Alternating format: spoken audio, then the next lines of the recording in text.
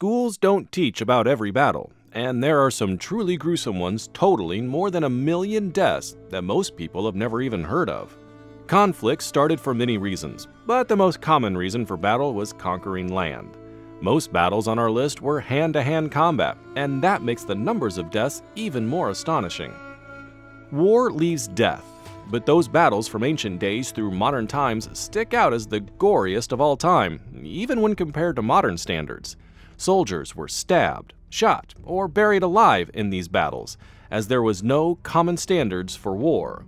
French Emperor Napoleon was involved of two of those historically bloody battles. The worst was the Battle of Borodino on September 7, 1812. Yes, that war. The Battle of Borodino has been noted to suffer the most casualties of any single day of the Napoleonic War, with at least 68,000 killed or wounded out of the 250,000 fighting men on the field. The battle was a result of Napoleon invading Russia in June of that year. Smart move, huh? Russia suffered the biggest numbers of casualties in the battle, with 44,000 dead, wounded, or missing. That included 1,000 prisoners and 22 generals. The French also sustained death and injury, with 28,000 either dead or wounded, including those in La Grande Armée and those who died in battle. 49 French generals were killed, making it an incredible loss for Napoleon's army. The Russians couldn't gain ground against the French emperor's forces. Napoleon stayed with his army, while Russian forces retreated. Napoleon, in true emperor fashion, claimed victory, but it wasn't a decisive one.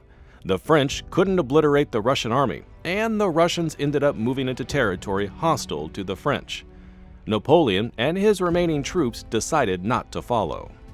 As if Napoleon didn't learn his lesson in facing the Russians in 1812, he tangled with them again in October of 1813 in the Battle of Leipzig.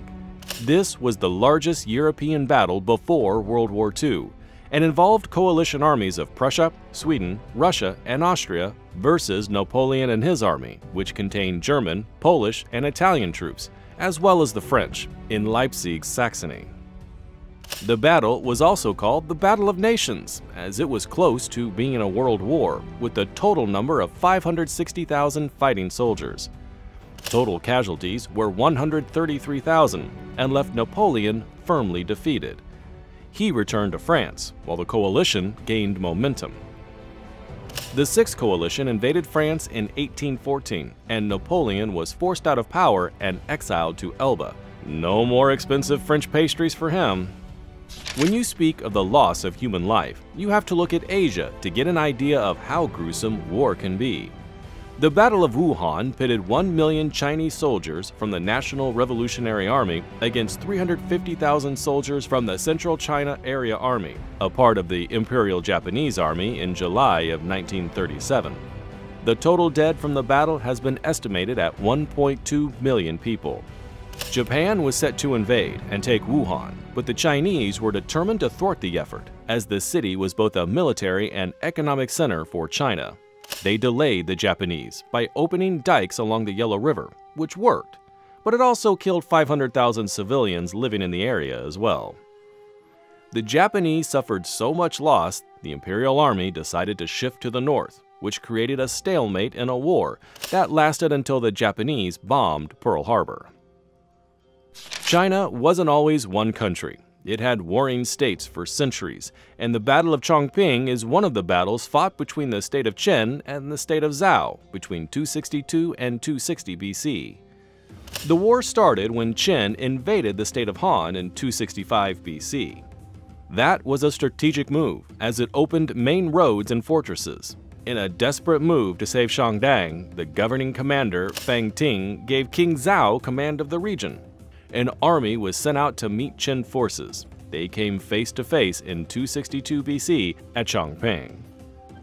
The Zhao military leader, Lian Po, decided to wait the Qin army out rather than fight, which proved fatal as it resulted in a three-year stalemate.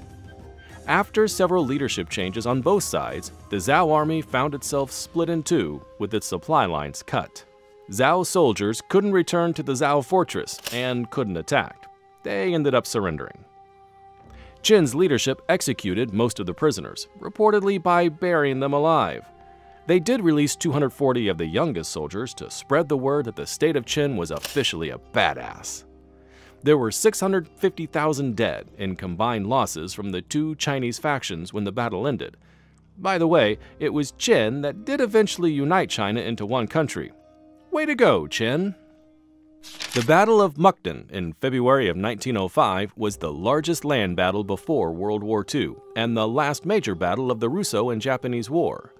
This war happened in what is now called the city of Shenyang in China. Back then, it was called Mukden in Manchuria. The battle was over land that was under Russia's control. By the end of it, there were 164,000 of the 610,000 fighting troops dead. Russia was forced into a retreat and left the land to the Japanese. It remained under Asian control ever since. War was a common occurrence in ancient times, and battles around the Mediterranean were among the bloodiest. In the Battle of Plataea, the Spartans and Athenians of Greece were seeking to fend off an invasion from Persia, which is now modern-day Iran. This was the second time Persia tried to invade Greece, as the first time was unsuccessful. This time would also prove to be a failure, as the Persians lost again to the much smaller Greek army. Some say up to a million Persians were left dead in the battle. However, scholars say the number of Persian deaths is somewhat unreliable. Scholars put the total death count for both sides of the battle between 50,000 and 90,000. The Battle of Magnesia was another mismatched battle as Roman soldiers fought the Seleucids. The final number for that battle were 5,000 Romans dead and 10,000 Seleucids dead. Yet the Romans won, and the Treaty of Apamea ended the Seleucids' reign in Asia Minor. Most people have never heard of the country of Georgia, but this former Soviet Union territory lies south of Russia. It is also the setting for the Battle of Didgori, where the Kingdom of Georgia fought the Great Seljuki Empire in August 1121. The war started over, believe it or not, taxes. Back then, kingdoms called it tribute, and the Great Seljuki Empire forced Georgia to pay tribute. King David of Georgia decided he didn't like the idea, so he abruptly ended the practice. The Great Seljuki Empire didn't like that, so it sent a large Muslim army to invade and try to squash any resistance. In this battle, 55,000 Georgian soldiers were fighting between 200,000 and 600,000 well-trained soldiers of the Seljuki Empire. It seemed like insurmountable odds, but Georgia won, with Seljuki soldiers retreating and the Georgia cavalry chasing them down. There's a festival every year to celebrate this momentous event. However, there wasn't much to celebrate as far as losses goes, and there was an estimated total of 400,000 deaths, although this number is somewhat reliable. At least they have a festival. There have been many battles between the Germans and the Russians over the centuries, but two of the bloodiest happened in the 20th century. The Battle of Kursk during World War II was the final German offensive of that war, and this battle left 250,000 total casualties. The year was 1943, and Nazi forces met Soviet Union forces in Kursk, which was in the southwestern portion of the USSR. For those of you under 40, that's what existed after Russia became a communist nation. The Germans started the offensive in July, but the Soviets launched their operation against the back end of the Germans. They also attacked from the south and hammered the Nazis through the first part of August. Pretty good for last minute plans, huh? Well, it wasn't last minute for the Soviets, because the British told the Soviets months before of the Germans' plans. The Red Army established a reserve force and counter-offensives. It even constructed defensive belts, while the Germans waited on more recruits and weapons before invading. Soviet losses are an estimated 177,877 men, but no one knows how many German soldiers died in the battle, Unit records were seized and either remain unavailable to the United States National Archives or were taken to the Soviet Union, which always denied possessing them. Big surprise there. This was the last offensive the Germans tried on the Eastern Front. Allied forces invaded Sicily, and that spelled the beginning of the end for the Nazis. Ah, but the Battle of Kursk wouldn't be the last one between the Soviets and the Germans. The two met again at the Battle of Narva. This time, the Russians started the offensive because Joseph Stalin wanted to take over Estonia. They were met by Estonians and many foreign volunteers joining German forces in the 1944 fight. Okay, the German conscription call was illegal, but it was war, and underground Estonian groups hoped the country could become independent, so they figured it was for a good cause. Stalin was stalled, and the Soviet war in the Baltic Sea was restricted for more than seven months.